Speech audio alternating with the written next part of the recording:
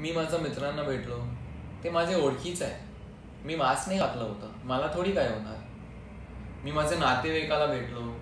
ते तर माझ्या घराचं आहे रे त्याच्यामुळे काय मी मास्क घालणार? अरे मी ना ओपन जिममध्ये असं लटकतो होतं. ते वेट्स पण मी केलो. सॉलिड हा एकदम पंपिंग नंतर मी सॅनिटाईज केलो.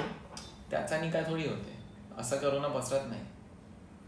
हे सगळे चुकीचे गोष्टी आहे हे सगळे रिस्की बिहेवियर आहे. प्लीज तुम्ही हे सगळे करू नका. हे जे ॲटिट्यूड आहे ना की मला काय नाही होणार. मी तर इकडचा राजा आहे. मला थोडी काय होणार. व्हेरी रिस्की करोना तुम्हाला सांगून येणार नाही. ओके ते कधीच कोणालाही होऊ शकते. आणि तुमच्यावरती तुमचे आई बाबा तुमचे जे लहान बाळं आहे ते सगळे तुमच्यावरती डिपेंड आहे. तर प्लीज स्वतःची आणि आजूबाजूचे आमचे जे आहेत डिपेंडेंट फॅमिली फ्रेंड्स त्यांची काळजीही घ्या.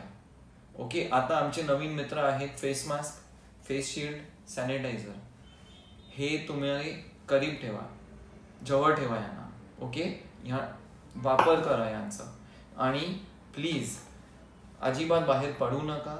Don't go to crowded places don't go to close spaces and don't have long conversation with your friends Your safety is in your hands. So please, Seabus, stay safe.